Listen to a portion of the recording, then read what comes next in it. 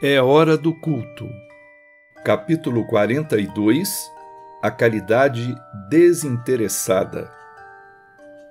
A família, reunida de frente à TV, assistia ao senhor Fulano de Tal contar ao seu entrevistador que, anualmente, doava brinquedos às crianças carentes às vésperas do Natal.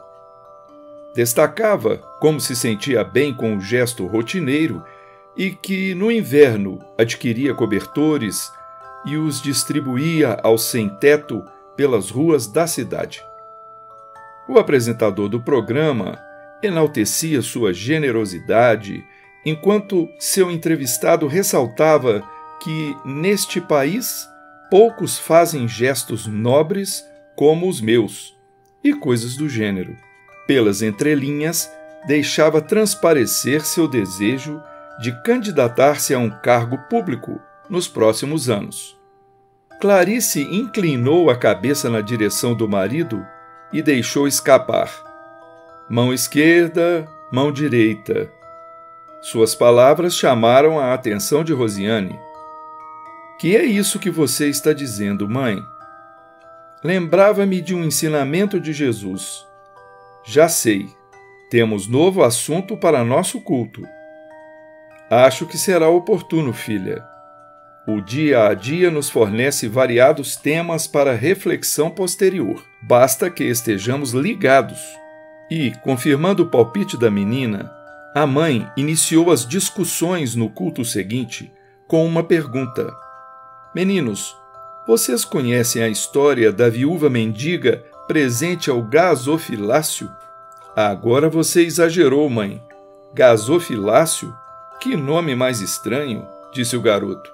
Você tem razão, Paulinho. É um nome bem diferente mesmo. Era como se chamava a Sala do Tesouro, local no templo onde os devotos judeus, na época de Jesus, depositavam dinheiro para a sua manutenção. Imaginem um amplo salão com vasos em suas extremidades servindo de receptáculo para as moedas depositadas pelos frequentadores. Os mais vaidosos as atiravam, fazendo ruído propositadamente, a fim de que seu gesto de generosidade fosse percebido e admirado por outras pessoas. Queriam chamar atenção, observou o menino.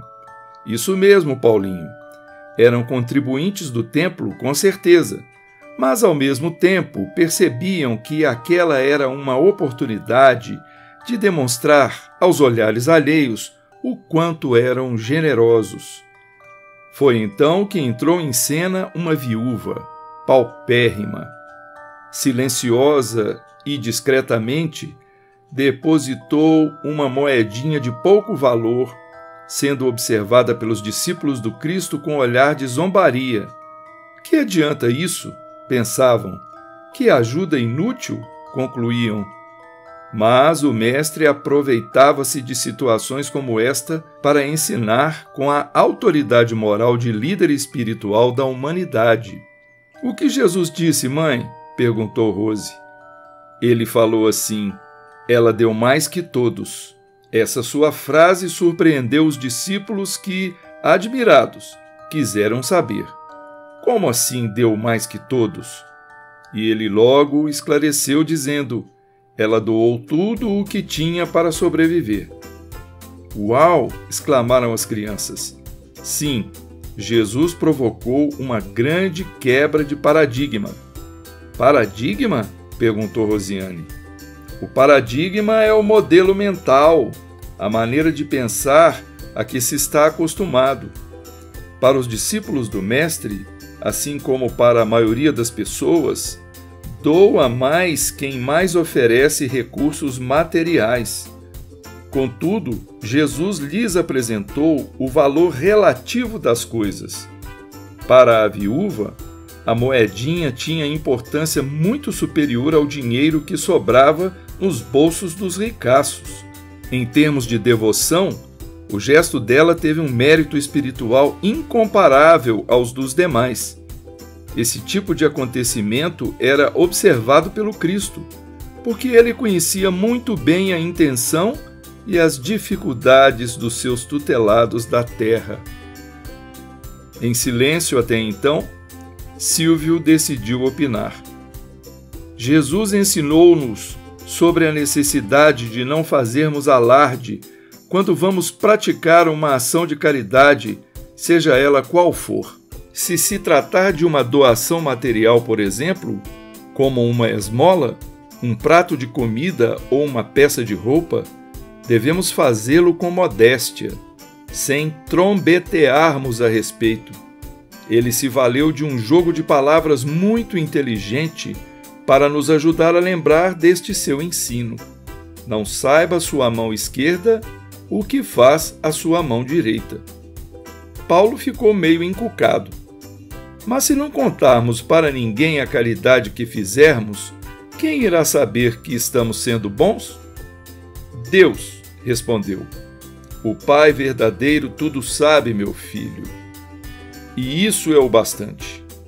Não devemos nos preocupar que outras pessoas fiquem cientes de nossos gestos de bondade e caridade, porque isso pode ser altamente prejudicial a nós mesmos, por colocar em risco a nossa humildade, tornando-nos vaidosos. Muitas vezes, a atitude caridosa oculta uma hipocrisia, o desejo de ser reconhecido como bom e atencioso, com o objetivo de se obter algum tipo de benefício mais tarde.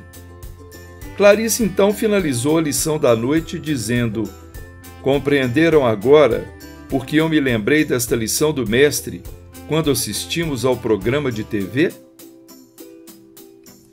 Quem sabe responder? O que é caridade desinteressada? Por que é importante não alardear sobre nossos gestos de caridade?